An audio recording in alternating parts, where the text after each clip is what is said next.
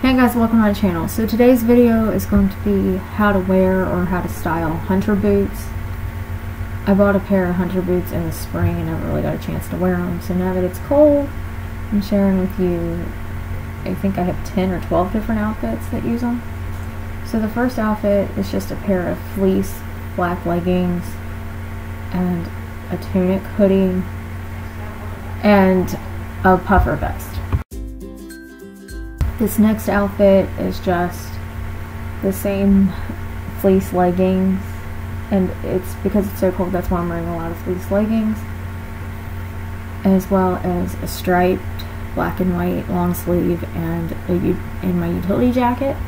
Okay, so for this outfit the only thing I added was a cardigan from Rue 21 instead of the utility jacket and a red scarf. It's the same leggings and the same long sleeve.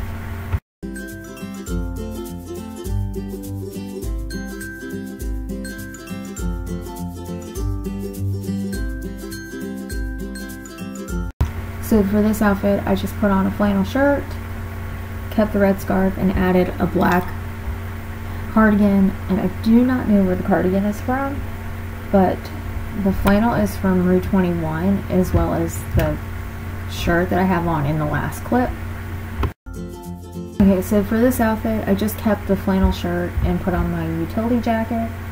And I know I'm wearing a lot of leggings, but I wear leggings a lot unless I'm in my work uniform, so that's why most of these outfits are leggings.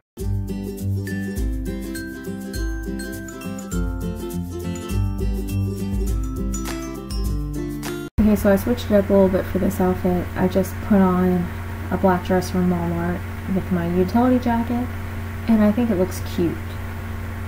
I don't know if I would wear the hunter boots with it though. It, it's a cute outfit, but not necessarily my style. The this outfit is just my jeggings from Kohl's, a color block sweater from Forever 21, and the beanie I got out of my FabFitFun box like two or three years ago.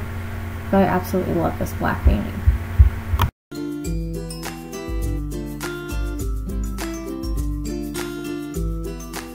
So for this outfit, I just kept the jeggings and switched out to a pink long sleeve my white puffer vest and a pink beanie and I did not realize how funky the beanie looked until I was actually editing this video.